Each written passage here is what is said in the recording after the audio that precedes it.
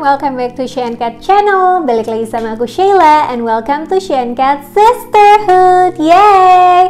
So guys, hari ini aku senang banget karena bisa ketemu lagi sama kalian secara tidak langsung pastinya. Dan untuk itu aku pengen mohon banget sama kalian semua yang belum juga subscribe Please banget untuk di subscribe Biar aku tambah rajin lagi membuat video-video Nah guys, jangan lupa untuk subscribe, hit the notification bell, like, leave a comment down below, dan follow Instagram aku dan juga Catherine. So hari ini guys, kalau misalnya kalian tuh mungkin udah sering banget ngeliat aku pakai baju ini, sejujurnya ini tuh baju rumah yang paling nyaman uh, buat aku. Jadi ini tuh langsung kayak cuci pakai cuci pakai gitu guys. Karena di sini um, mesin cucinya ada di dalam rumah. As you can see itu Terus sebelahnya tuh itu adalah pengering. Jadi kadang tuh aku nggak harus jemur, langsung aja keringin di sebelahnya. Jadi uh, nyucinya pakai mesin cuci, terus uh, tinggal pakai pengering udah jadi. Jadi dalam waktu 2 jam tuh kira-kira baju udah kering gitu. Karena kan udaranya dingin. Jadi terkadang tuh kalau kita misalnya pakai jemur-jemur gitu tuh bajunya nggak kering-kering. Sedangkan aku suka banget baju ini kayak ini satu-satunya mungkin yang paling muat sekarang untuk aku pakai karena aku lagi menggendut. Nah jadi ini enak banget emang. Jadi kalian jangan bosen ya kalau misalnya di setiap ketemu aku mungkin bajunya sama terus sama terus. Nah guys oke okay, jangan ngomongin baju kelamaan. So hari ini aku pengen ngajakin kalian untuk bebersih rumah. Kalian tahu sekarang ini aku sudah pindah dan aku juga udah ngasih tauin rumah aku seperti apa Nah, karena aku happy banget di rumah ini sejujurnya dan aku tuh orangnya nggak suka banget ngeliat yang uh, kotor-kotor. Jadi pengennya tuh semua bersih. Apalagi nanti uh, anak-anak gitu-gitu kan pasti kayak kalau ada debu dikit atau sebagainya. Tapi untuk kalian tahu ya di sini tuh debunya dikit sekali bahkan hampir nggak ada. Jadi kalau misalnya kayak tadi aku ngelap eh kalau misalnya kayak aku ngelap-ngelap gitu itu tuh hampir kayak nggak ada debu. Jadi sebenarnya enak banget.